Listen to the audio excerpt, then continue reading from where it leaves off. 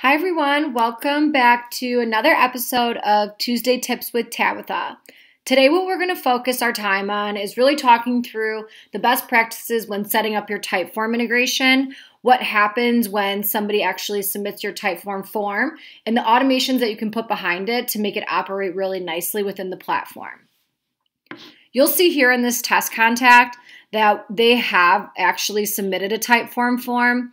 They get two tags when that happens. So you'll see they get a general Typeform integration tag, and then they also get a Typeform integration tag that titles the actual form in which they submitted. So you know exactly which form the contact submitted on your website. Two really good automations that we can utilize are going to be the automation right here so this is your general Typeform integration tag. So this is going to be our start trigger. Through the Typeform integration, the contact is not subscribed to a list. So we want to, as a best practice, just develop a really small, easy automation that says, hey, this Typeform integration tag got added. Let's subscribe them to the master list or any of the lists that we want. You can select that here in this step you're able to select as many as you want and then just apply your whichever you choose and then end the automation. So this is going to be active. It's going to constantly run in a way that will say as soon as the tag gets added, we're proactively adding them to a list. Now, there's another tag that gets added that we specified, and that's the tag that's specific to the actual form that was submitted.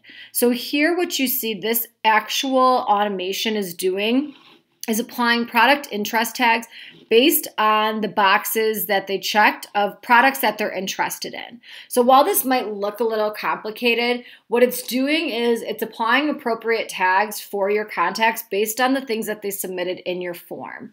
So you'll see here, we specified that this is the actual form that was submitted.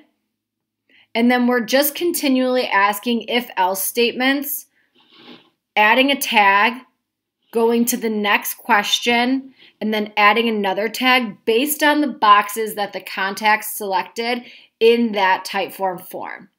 So this is a really easy way to just come in, add tags based on interest, based on the things that your contact is submitting.